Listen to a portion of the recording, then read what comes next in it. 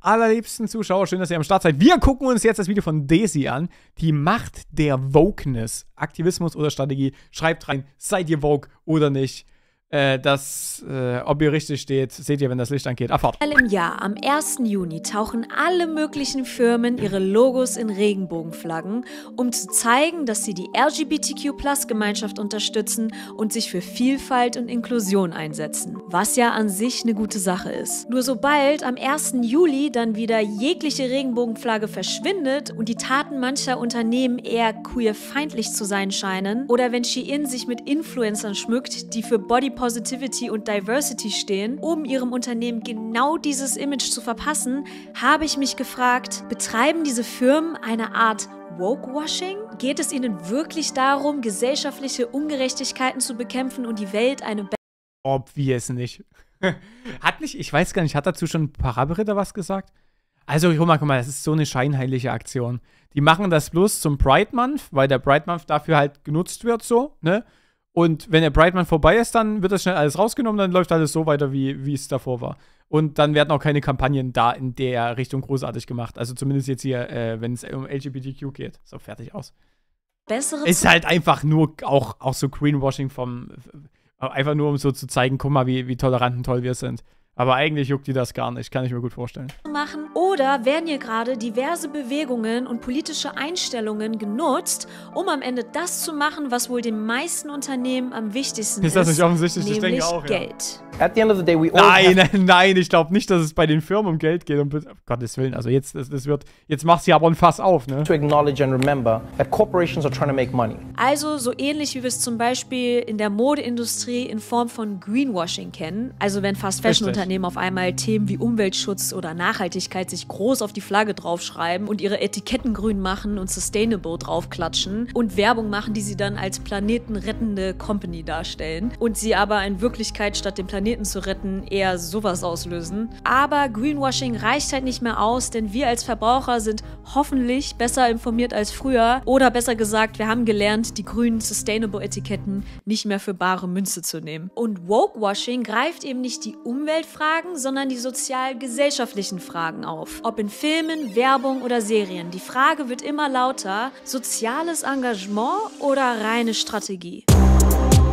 Also ich bin fest und felsenfester Überzeugung, dass wir hier von einem extrem sozialen Engagement reden. Ja, ich kann mir nicht vorstellen, dass die Firmen Geld dahinter sehen. Hinter, hinter diesen Woke-Dings. Also da weiß ich auch nicht, wie ihr dazu steht, aber ich glaube, es geht nicht um Geld. Früher haben sich Marken aus Politik und sozialen Fragen lieber herausgehalten, aus der Sorge, dass sie einen Teil ihrer möglichen Kunden verlieren. Leute, genauer gesagt, waren Werbungen alles, nur nicht politisch korrekt. Eine Frau hat zwei Lebensfragen. Was soll ich anziehen und was soll ich kochen? Es geht noch weißer. Das neue Blanco 73. Hinein mit Blanco in die Maschine. Mit Blanco 73 wird alles herrlich weiß. Auch Farbe. Digga, was ist das denn? Neu. Alter, was ist denn das für eine Werbung? Bro, holy shit. Also ich, ich fand die erste Werbung, die kennt man ja so, aber das mit Blanco ist mir neu. What the fuck? Magifix für China-Pfanne. Hey, warum was? Neu. Magifix für China-Pfanne. Warum ist hier Alexi Bexi? Aus nichts kommt Alexi Bexi hier.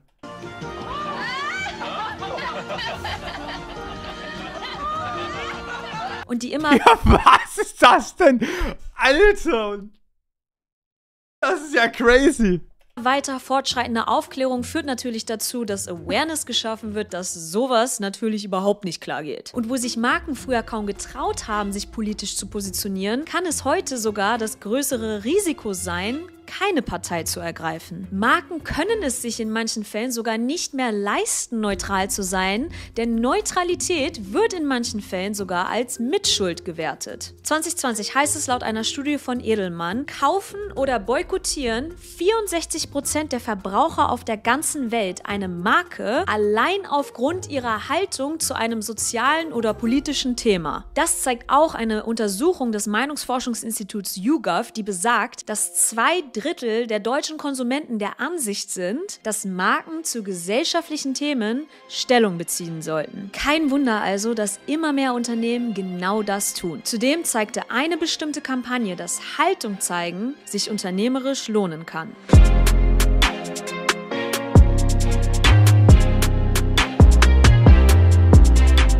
Zu verstehen, warum so viele Unternehmen heutzutage politische Haltung zeigen wollen, müssen wir erstmal ein paar Jahre zurückgehen und uns die Mutter aller Woken Werbekampagnen anschauen. Die Kampagne, die Brands und Marketingagenturen auf der ganzen Welt gezeigt hat, sozial ist super. Die Rede ist von Nikes Dream Crazy Kampagne zusammen mit US-Footballspieler Colin Kaepernick. Tonight, the first game of the new season, and Nike is running an ad featuring Colin Kaepernick.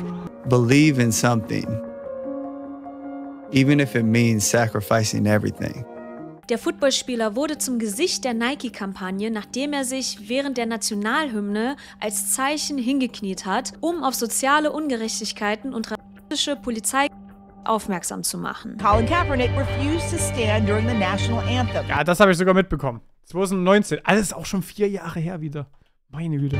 Taking a knee to protest police brutality. Und das fanden Leute teilweise so schlimm, dass sie ihre Nike-Schuhe verbrannt haben. Several people posting videos burning Nike shoes. Nike is running straight into a political controversy. People are so angry they're burning their own shoes. Ah, das ist wieder, das, das sind aber Menschen, die scheißen halt, äh, ja, also, was, was, also, so, jetzt ist der Schuh kaputt. Und yes. Und jetzt habt ihr Nike aber ganz schön gezeigt, du meine Güte. Dass ihr gegen Toleranz seid. Das ist voll Is cool. Nike taking a risk? I think they're taking a stand. And I'm never buying another Nike product again. Nike stock today dropping 3%. Nike ist jedoch trotz des Backlash nicht von dieser Position abgewichen. Und für viele war das ein Zeichen für soziale Gerechtigkeit und für echten Einsatz. Ein Zeichen, wodurch die Stimmen der Gegner immer mehr verstummten und der Zuspruch immer lauter wurde. I went out today and bought me some Nikes. Oh, yeah. I want to applaud Nike. Speak up. We're right behind you. This thing is bigger than just the United States, and I think it resonates throughout the world. Kaepernick asegura que es Colin Kaepernick Nike hat es geschafft. Sie haben ein Zeichen für Gerechtigkeit gesetzt und das Zeichen war ein Swoosh. Aber das war nicht alles, denn genauso wie ihr Swoosh raste auch ihr Aktienkurs steil bergauf, wuchs um 5% und erreichte ein Rekordhoch an der Börse. Nike stock reached an all-time high last Friday. I'm gonna buy more Nikes now. Nike's on the right side of history.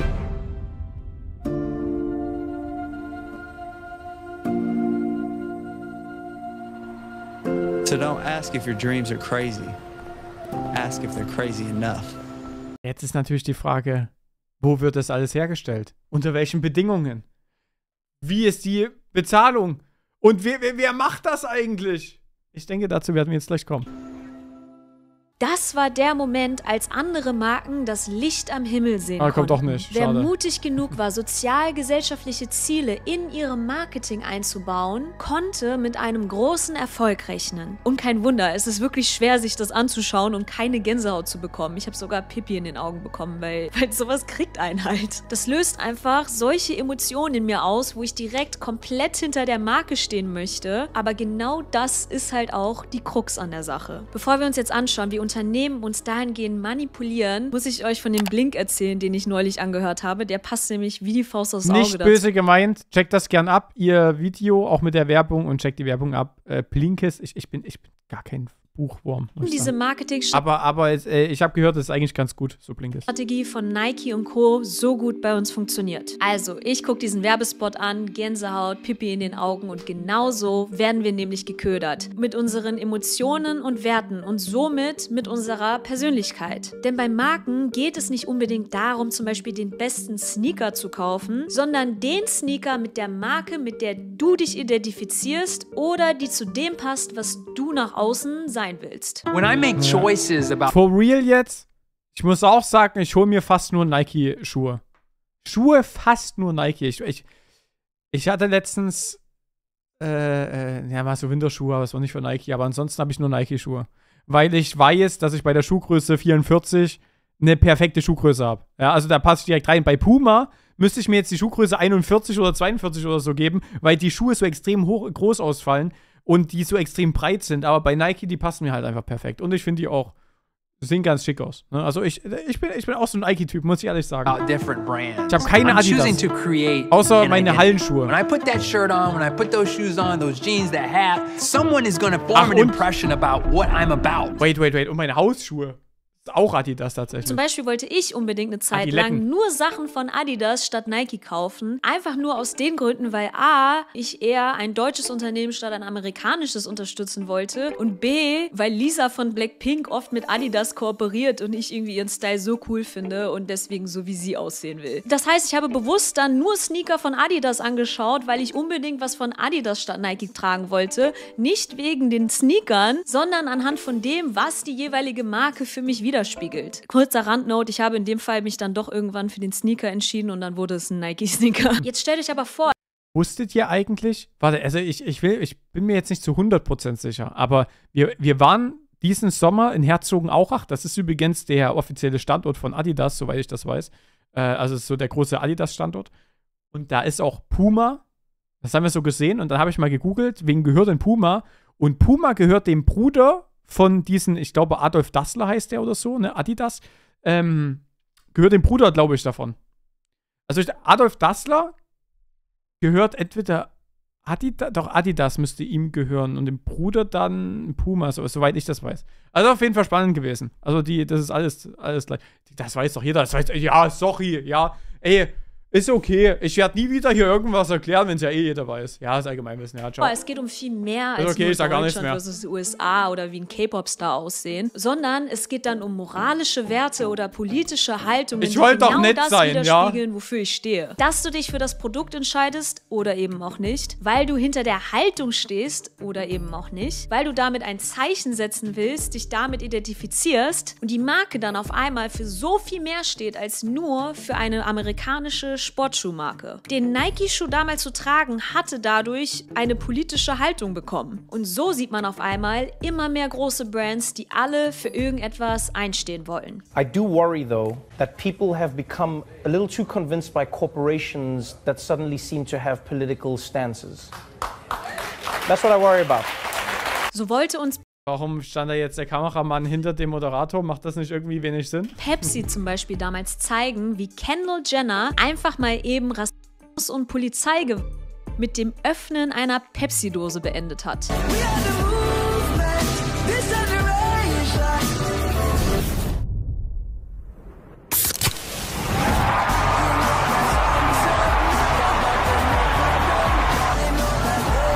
Es macht, so, äh, es macht so gar keinen Sinn. Ich weiß nicht mal den.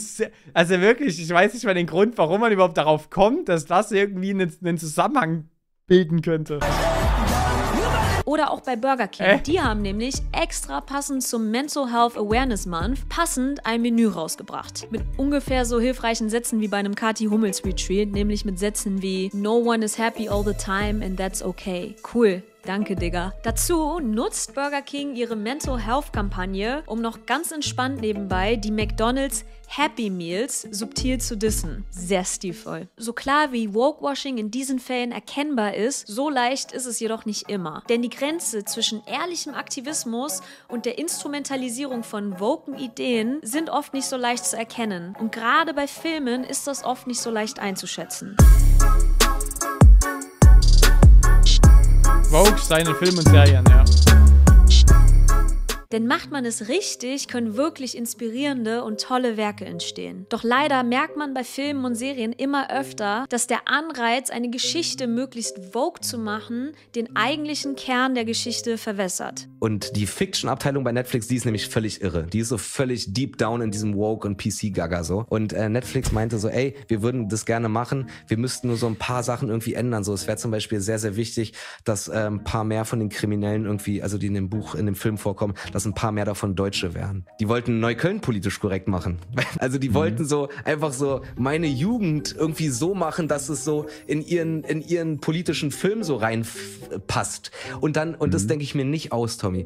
Netflix meinte, ey, äh, wäre es nicht geil, wenn, wenn diese da im Park am Anfang, wenn es nicht so arabische Jungs wären, sondern wenn es so eine, äh, so eine deutsche lesbische Mädchengang wäre? Nur damit ihr mich nicht falsch versteht, ich glaube, der entscheidende Unterschied ist, statt Remakes, Ereignisse oder alte Märchen umzuändern, damit sie möglichst vogue sind, warum nicht lieber neue Geschichten und Filme kreieren? Warum remake man zum Beispiel sonst einen Film, der eigentlich männliche Protagonisten hatte, behält das Konzept und alles bei und die einzige Änderung, die man macht, ist, dass man die männlichen Protagonisten mit weiblichen austauscht. Lässt sich erstmal vielleicht gut bewerben. Ein Film, in dem starke Frauen im Vordergrund stehen, das ist ja ganz klar feministisch. Aber ist das wirklich so? Weil ich habe fast das Gefühl, dass es schon fast antifeministisch ist. Als würde Das- man nicht Das ist wieder genau das Gegenteil eigentlich, weißt du?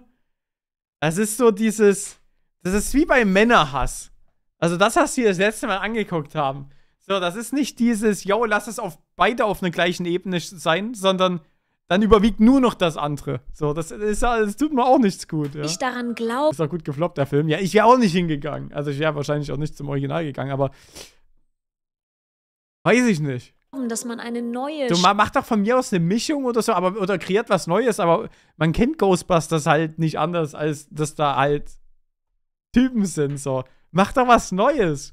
So, dann kennt man auch gar nichts anderes und denkt, jo, das war schon immer so, ist gut. starke Filmmarke mit Frauen aufbauen könnte und ihnen dann lieber eine gibt, die schon von Männern etabliert wurde. Also ja irgendwie ein feministischer Film, getragen auf den Schultern von Männern. Das ist irgendwie so, als würde man mir nicht zutrauen zu malen und deswegen gibt man mir so ein Malen mit Zahlen oder sowas vorskizziertes, was ich nur noch so ausfüllen muss. Und mir dann zu applaudieren, so als wäre ich so ein kleines Kind, was Aufmerksamkeit und Anerkennung braucht. Dabei gibt es doch gerade so gute Beispiele, wie man es besser machen kann. Ein weiteres beliebtes Mittel, um als Brand politische Haltung, Political Correctness oder Bewegungen zu zeigen, ist die Auswahl durch den richtigen Influencer.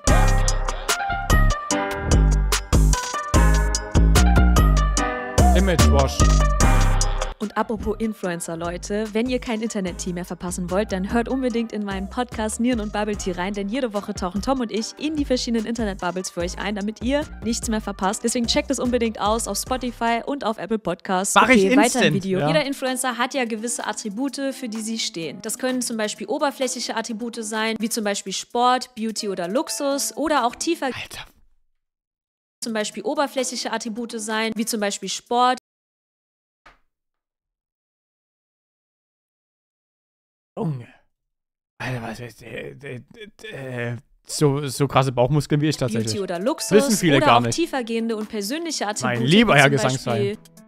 Politische Einstellung oder Genderidentität. Und Marken, die ihre eigene Brand stärken wollen, nutzen genau das. Was früher noch oberflächlich und direkter war, War, war ich auch mal. Ich habe mich auch mal äh, vor einem Jahr, war vor einem Jahr, war ich auch im Fitnessstudio noch angemeldet. Habe ich mich sehr schlecht gefühlt. Weißt du, ich, ich mache dort so ein bisschen meinen Sport, weißt du, und auf einmal kommt so eine Ukrainerin rein. Also die konnte auch kein Deutsch, die hat so auch, die hat dann auch telefoniert, deswegen wusste ich auch, ja, okay, aus äh, so Ukrainerin, ne? Kommt rein. Ich denke mir, okay, ich denke, da ist noch nichts dabei. Auf einmal nimmt die so übel krasse Handeln. Also so, also ich habe 15 Kilo genommen und sie hat 12,5 Kilo genommen. Und ich dachte mir, so 12,5 Kilo hatte ich vor kurzem auch noch genommen und, und sie einfach 12,5 Kilo. Da dachte ich mir, what the fuck? Und dann zieht die so ihr, ihr Trainingsdings aus, also dies- diesen, diesen äh, Trainingsanzug aus. Und auf einmal denke ich mir, wow, Alter, ist sie Bodybuilderin oder so? Ohne Witz, übel gestört gewesen. Ich dachte, ich dachte mir, okay, okay, ich muss dringend los, das, das verletzt mein gesamtes Selbstbewusstsein. Junge, ich habe mich so schlecht gefühlt, wie wenig trainiert ich bin im Gegensatz zu dieser Frau, die hat komplett durchgezogen. war zum Beispiel Sportmarken suchen Sportinfluencer, Beauty-Produkte suchen Beauty-Influencer. Geht jetzt einen Schritt tiefer. Denn jetzt geht es darum, die Werte der eigenen Marken widerspiegeln zu lassen durch Influencer, die nach diesen Werten leben. Was man natürlich auch machen kann, ist einfach als Brand die Werte der Influencer einzukaufen, wenn man als Brand meiner Meinung nach keine hat. Es gibt aber noch einen ausschlaggebenden Punkt, warum es sich für Unternehmen finanziell wenn Shein irgendwas Positives sagt, da weißt du eigentlich in, in den meisten Fällen, dass es einfach nur Greenwashing ist. finanziell lohnen kann, möglichst woke Ziele zu verfolgen.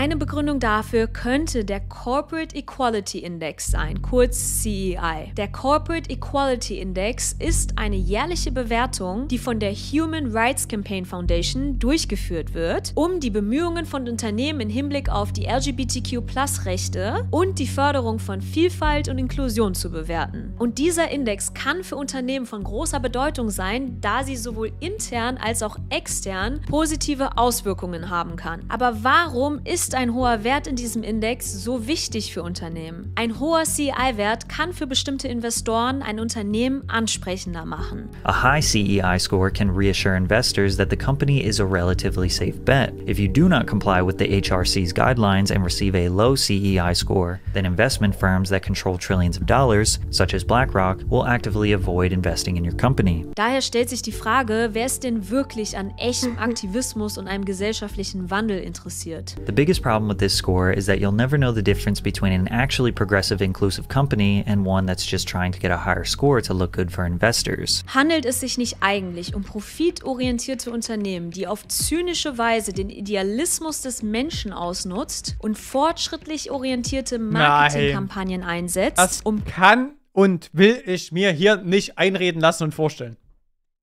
Das glaube ich dieser Frau nicht, dass die Firmen auf Geld aus sind.